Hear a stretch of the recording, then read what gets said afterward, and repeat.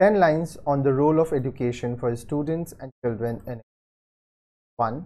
Education is essential for personal growth and development and is a fundamental human right. 2. It provides individuals with knowledge, skills, and tools to navigate the world and make informed decisions. 3. Education promotes social mobility by providing opportunities for people to advance their careers and improve their economic circumstances. 4.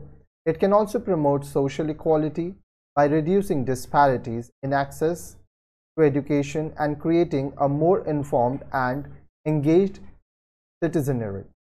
5. Education plays a critical role in promoting innovation and creativity, which are essential for economic growth and development. 6. It can also promote personal and social values such as empathy, respect, and tolerance, which are important for building inclusive and peaceful society. 7.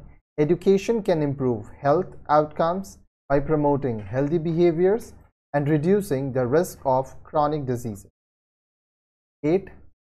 It can also promote environmental sustainability by providing individuals with knowledge and skills to make environmentally conscious decisions. 9. Education is important for promoting social change and social justice by empowering individuals to advocate for their rights and the rights of others. 10. Effective education requires access to high quality resources, well trained teachers, and a commitment to providing equitable and inclusive opportunities for all learners.